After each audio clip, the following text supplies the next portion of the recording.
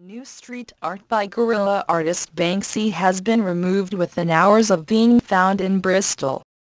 The artwork, showing a couple embracing while checking their mobile phones, was posted on Banksy's website on Monday and discovered on Clement Street earlier.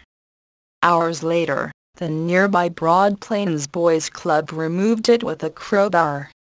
The Banksy believed to be on plywood has been replaced with a note saying it was held at the club, to prevent vandalism or damage being done.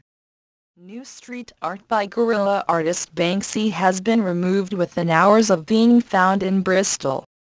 The artwork, showing a couple embracing while checking their mobile phones, was posted on Banky's website on Monday and discovered on Clement Street earlier hours